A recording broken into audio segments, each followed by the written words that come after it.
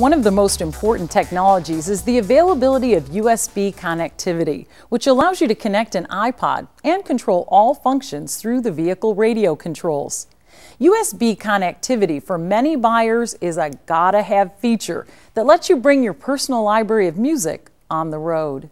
The USB system on the Cruze can also play music tracks from other devices like USB drives, PlaysForSure devices, and Zunes. You can use the vehicle radio controls to search all the same features on your iPod, like playlists, artists, albums, song titles, and podcasts. And you can also set the system to shuffle songs.